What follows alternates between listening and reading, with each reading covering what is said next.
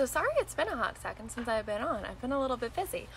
And I also did a post, which some of you probably saw, about if people were more interested in weather related activities or like anatomy related activities. And I'm going to be honest, I didn't think people were going to be interested in, in anatomy related activities, but you guys were, which is pretty awesome because I'm into that kind of stuff.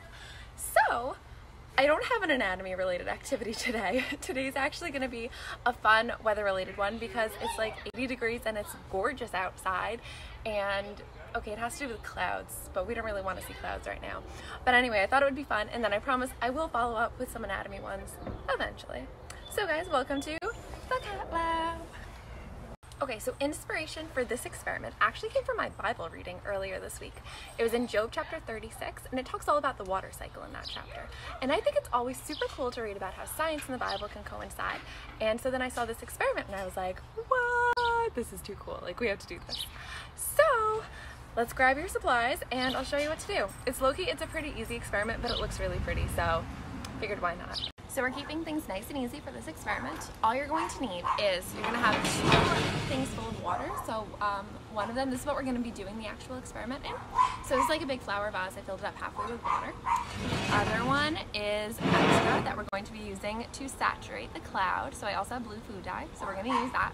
We also have Barbasol shaving cream, which is going to be our cloud, and a turkey baster.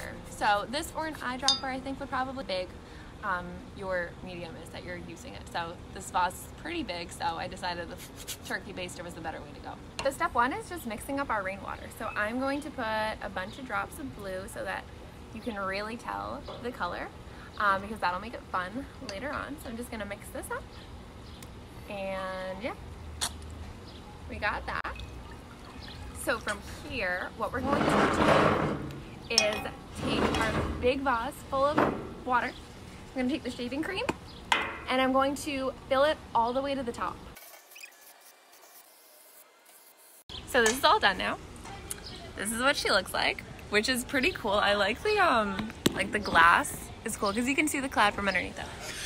So anyways, Clouds are made out of water vapor, so they look all light and fluffy, like shaving cream, but in reality, they're not. They're actually kind of heavy, and when they get too heavy, that's when it starts to rain. So, sorry for the bad camera angles. But anyways, that's what we're gonna see today.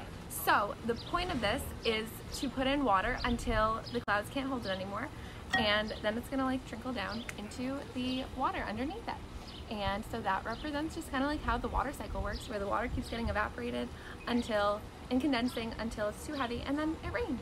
So let's see how many drops it takes to get to the bottom of the cloud.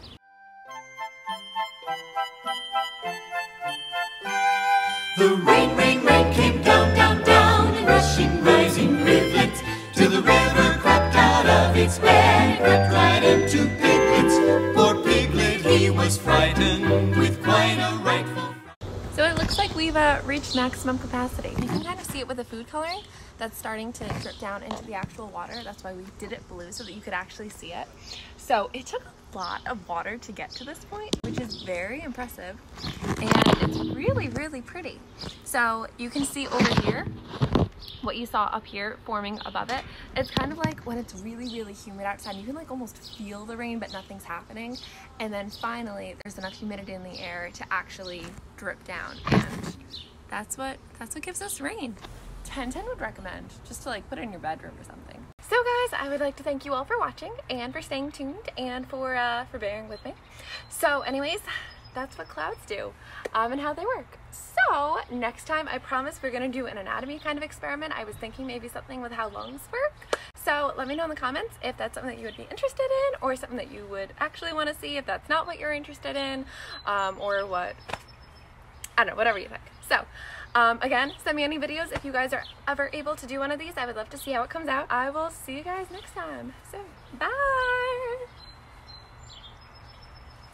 I don't know why I do that, I'm sorry.